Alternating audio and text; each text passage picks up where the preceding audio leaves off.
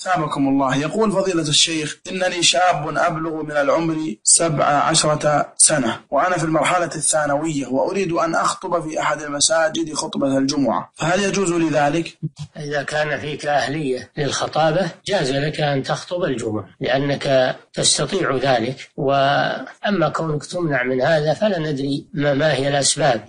ربما يكون هناك من هو أولى منك بالخطابة ولكن الجواب على ما سألت عن الجواز. نقول يجوز لك أن تخطب الجمعة إذا كنت تستطيع ذلك. نعم. يبدو أنه يريد الشيخ هل لجواز الخطابة للرجل سن معين؟ ليس له سن معين. نعم.